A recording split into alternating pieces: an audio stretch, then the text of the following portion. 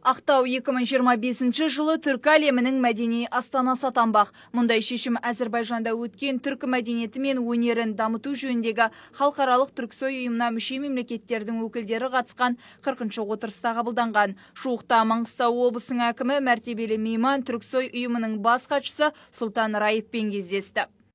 Ақтау қаласын түркі әлемінің астанасы болып таңдап алынуы бұл біз үшін үлкен мәртебе.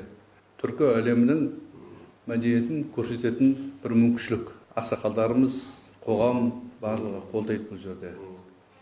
Біз өзіміздің қазақ халқының дәстүрін өңірдің мүмкіншіліктерін таныстыра отырып ресми азаматтар олармен болған отырыстардың барлығы біз үшін маңызды. Келген қонақтың барлығы күтетінде бізде бар мүмкіншілігіміз бар. Ең басты бізде ниет бар. Жақсы жасаймыз деген.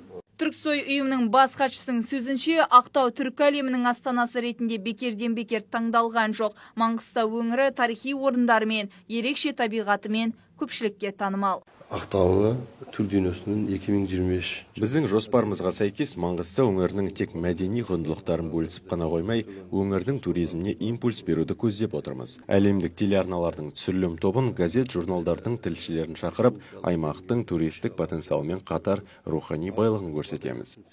Жалпы маңғыстауда өткізген шаралардың барлығы бұл әрине өзіміздің туристік потенциалымызды және де мәдени потенциалымызды көрсетуге толықтай мүмкіншілік береді.